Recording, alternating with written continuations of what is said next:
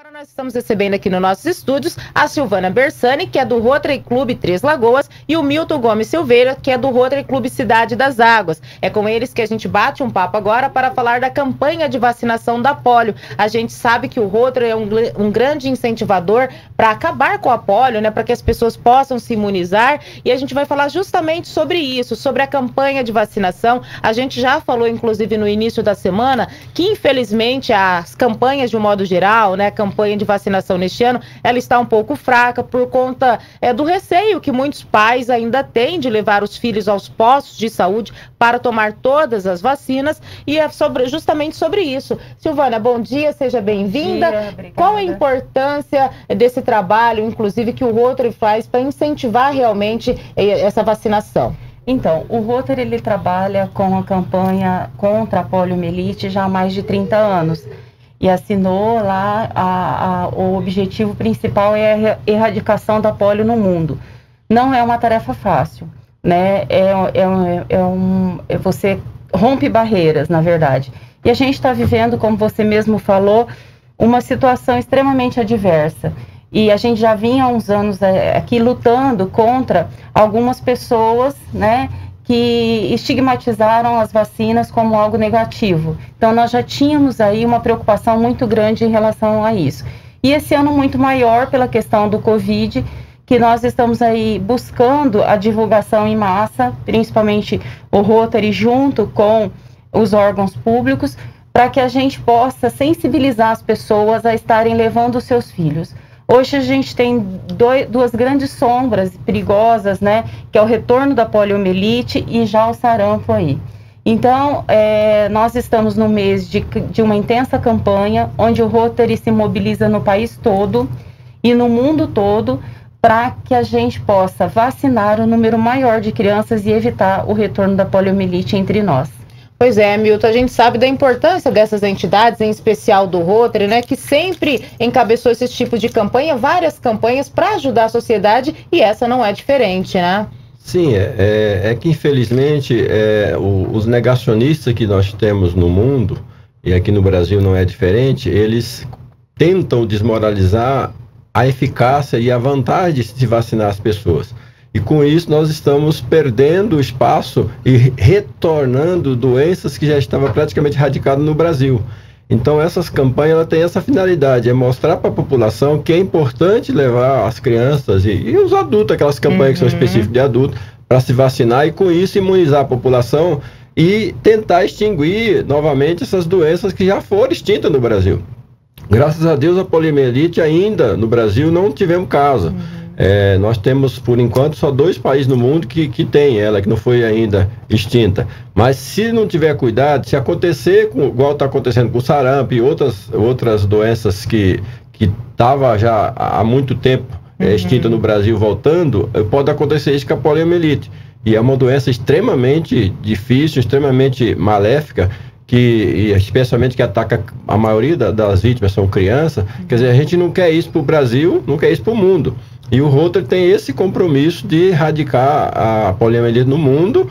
É, já, já vencemos o prazo, mas estamos insistindo porque esses dois países que faltam são países complicados, que têm culturas diferentes, têm problemas de, de, de guerrilhas e outras coisas lá nos seus países, que dificulta a orientação, dificulta é, levar a vacina até as pessoas, tem tribos em locais muito difíceis, tem tudo isso que complica para que a gente erradica essa doença. E os dois Rotaries aqui de Três Lagoas se uniram, trabalham unidos nesse tipo de campanha? É, o Rotary é um só, né? É um só. A Rotary Internacional é um só. Nós dividimos em clubes para prestar serviço. Uhum. Mas quando se trata da causa comum, a, a gente se une para fazer o mesmo trabalho. Afinal de contas, nós existimos para isso, para colaborar com a comunidade, para tentar levar até a comunidade aquilo que nós possamos fazer, é contribuir para alguma coisa para nossa comunidade. Tem muitas pessoas que ainda não levaram seus filhos para tomar essa dose da vacina em Três Lagoas? Tem. Vocês têm conhecimento? A, a, gente não tem conhecimento de quanto já foi vacinado, porque eles fazem um monitoramento, mas a gente sabe que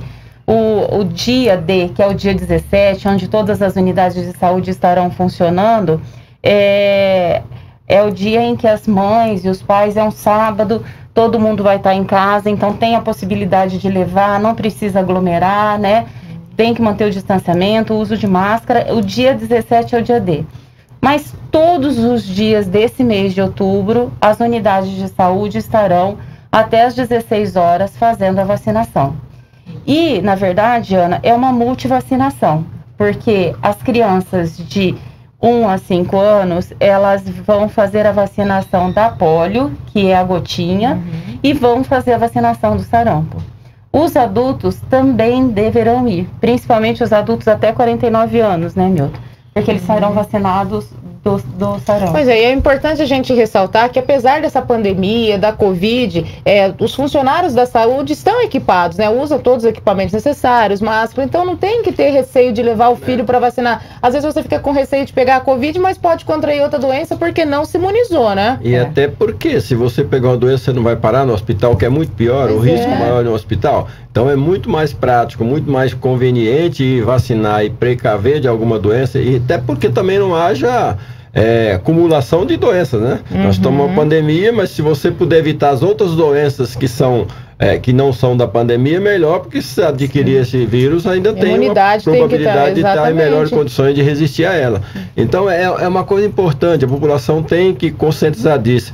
Todos nós estamos sonhando para que venha essa vacina, vacina contra o coronavírus para a gente ser imunizado, para a gente ter a tranquilidade acabar com esse problema que virou uma paranoia para todo mundo e ficar, não poder fazer isso, poder fazer aquilo.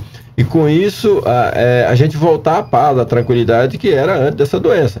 Então, essas doenças, elas também são. Só quem já perdeu alguém ou quem já teve alguém é, com a sequela dessa doença, que, que sobreviveu, mas deixou sequela, que sabe o quanto é difícil essa poliomielite, o sarampo. Eu já perdi um irmão com sarampo.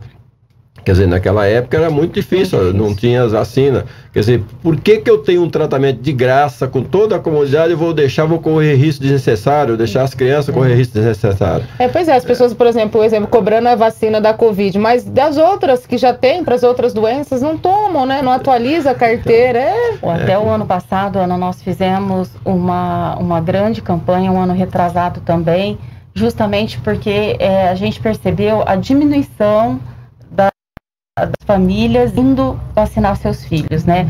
Isso a nível de Brasil, e aí a gente fez uma grande mobilização, todos os rotaries é, de todas as regiões do Brasil, e uma das coisas que a gente viu quando fez o levantamento é que a polio no Brasil, ela já está erradicada, né? E há muito tempo, porque a partir de 79, né, Milton, que começou a vacinação, então, houve uma diminuição significativa de pessoas com essa doença. Uhum. E as pessoas não vivenciaram a situação da poliomielite. Então, uhum. muita gente, como o Milton é falou, não sabe o que é a polio. Né? Não, é, não vislumbra as dificuldades é, que existem a partir dessa doença. Né? Então, o que a gente faz hoje é justamente conclamar a toda a população, aos pais, aos avós, aos, às pessoas que são responsáveis por crianças que levem seus filhos, que atualizem a carteira de vacinação e que aproveitem esse momento, né? Como você disse, a saúde está estruturada para atender a essa situação. E, e, também a prevenção sempre é muito mais prática que o tratamento, né? Se a saúde pública deveria, e é isso que, que, geralmente a gente busca na saúde pública, mas nem sempre acontece, é a prevenção. Porque a prevenção é muito mais barata, tem menos custo, muito mais fácil você prevenir do que você tratar. É, a doença é muito cara para você tratar, mas se você prevenir, ela é muito mais prática. E, e vacina é prevenção. A uhum. partir do momento que você está vacinando, você está prevenindo contra uma doença que você possa pegar. Nós temos no Brasil é, vacina para tanta coisa, febre amarela, para coqueluche, para varíola, para todas essas doenças, a hepatite. Então tem tantas vacinas que se você tiver cuidado, tétano, se você tiver cuidado, você vai evitar determinada doença que pode causar muito mais impacto na sua vida e na sociedade, que você vai uhum. perder, de deixar de trabalhar, deixar de produzir, e o poder público vai gastar muito mais com o tratamento, que às vezes fica um tratamento de ficar internado em hospital, tem custo, que tudo isso, se a verba da saúde pública já não é o suficiente para se fazer um bom trabalho prestar um bom serviço para a população. Uhum. Você ainda gasta mais com doenças que poderiam ser evitadas se a população cumprisse seu papel da prevenção, é, levando as pessoas a vacinar. Exatamente. E a gente vê o Rotary, né, uma entidade tão importante que tem essa preocupação com a sociedade, defende várias causas, uhum. né? São pessoas voluntárias que dedicam parte do seu tempo para poder contribuir com uma sociedade melhor. E vocês têm tido a participação dos, dos demais integrantes, dos outros. Como que está o funcionamento dos outros de vocês? As pessoas estão enganjadas, mesmo nesse período de pandemia? É, o, o, os clubes, eles têm é, uma filosofia de dar de si de pensar em si, é. dizer, esse é o lema principal do Rotary. E quando todas as oportunidades que a gente tem de prestar um serviço à comunidade serão feitos. É, nós não somos uma grande equipe, cada clube tem. O nosso tem 20 e poucas pessoas, é, sócios, o deles tem mais um 53. pouco. É, mas numa, numa, cidade desse tamanho nós somos poucas pessoas. Mas é, é, é através desse trabalho, buscando a, a, fazer aquilo que é possível, porque nós, nós pagamos para ser rotariano. É. Nós não ganhamos para ser rotariano. a, gente Quer dizer, a gente faz, doa o trabalho, doa é, essa, essa dedicação que faz em prol de alguma coisa na sociedade. Nós vamos receber, resolver tudo? Não. Mas você imagina que no mundo todo nós somos mais de 1 milhão e 300 mil rotarianos. Quer dizer, todo mundo contribuindo um pouquinho com a sociedade, é. com isso a gente está fazendo o nosso papel. E aqui em Três Lagoas não é diferente. Onde tem um Rotary é assim. É, com um grupo pequeno, você vai prestando muito serviço que às vezes a sociedade nem, nem acredita que você possa fazer. E Ana, é, foi legal você ter falado isso, que até ontem nós tivemos reunião no nosso clube, nossa reunião é quinta, às quintas-feiras. Nós estamos fazendo, claro, pela plataforma Zoom, né? E a gente comentou isso, né? A gente acabou de entregar uma secadora em parceria também com o Rotary Cidade das Águas, o Interact, o Rotaract, lá no Hospital Auxiliadora, que é um, um projeto distrital onde a gente busca recurso do distrito para trazer, né? É, para Três Lagoas. Então a gente é, percebe que as pessoas o Rotary ele tem uma inserção grande, um respeito muito grande, e isso faz com que a sociedade nos auxilie muito. Uhum. Nós temos muitos parceiros dos quais nos auxiliam para desenvolvimento das ações, as pessoas sempre estão abertas a receber os projetos, né? A gente chama a sociedade, a sociedade responde para a gente muito positivamente, e isso nos causa uma alegria muito grande, porque é o que o Milton falou. Nós, é, é, a gente dá de si sem pensar em si, é, é a hora que trabalho que hoje é a mais cara, né? Uhum. Hoje o que mais encarece é o tempo, né? O tempo que ninguém tem. Mas a gente faz a doação do nosso tempo em prol do desenvolvimento e da melhoria da qualidade de vida da nossa sociedade. E como Cidade das Águas, a gente tem vários grupos dentro do próprio Rotary desenvolvendo, desempenhando ações nas diversas áreas. Isso faz com que a gente, esse trabalho de formiguinha vai crescendo, crescendo na nossa sociedade. Isso é muito bom, né? A gente vê que ainda o Brasil tem pessoas boas, pessoas que querem colaborar, ter uma sociedade melhor. Isso é muito bom e no nome de vocês a gente cumprimenta, né? E parabeniza todos os demais Obrigada. integrantes dessas entidades, do Rotary em especial, porque a gente sabe da importância do trabalho de vocês. A gente quer agradecer pela presença de vocês, mais uma vez reforçar para que os pais levem seus filhos para se imunizar, para tomar a vacina. É de graça, não paga nada Bolsonaro tem que aproveitar, né? É isso aí. A gente é, pede novamente a sensibilização de todos os pais, mães, avós, tias, cuidadores de crianças responsáveis que do dia 5 ao dia 30 levem seus filhos para vacinação. Aqueles que têm até 49 anos, que de 20 a 49 anos, vão também, façam a atualização da sua carteira é, de vacina. Às vezes a gente não sabe, mas manter a carteira de vacinação de, é, em dia é a qualidade de vida, como o Milton falou aqui pra gente. Sem dúvida. Obrigada, Silvana. Obrigado, Eu Milton. Eu que agradeço, Ana, mais uma vez a oportunidade. Você sempre nos, nos oferece é espaço para estar aqui é, levando a nossa mensagem para a população, especialmente é, nesse momento que a gente está preocupado com, com esse problema das vacinas, que uhum ah, há uma, um, uma baixa procura e com isso preocupa, porque quando você tem um, um, um percentual muito baixo da população imunizado, a doença pode, pode é, retornar e pode expandir. Então, quando a gente faz esse trabalho, é exatamente pensando nisso, pensando que a gente possa melhorar o índice de vacinação e, com isso, nós é, evitar as doenças que são maléficas é, para a população. E a gente agradece sempre. Nós estamos com vários colegas, cada um buscando um meio de comunicação para fazer esse trabalho, para levar a mensagem a todo mundo e com isso contribuir com a sociedade.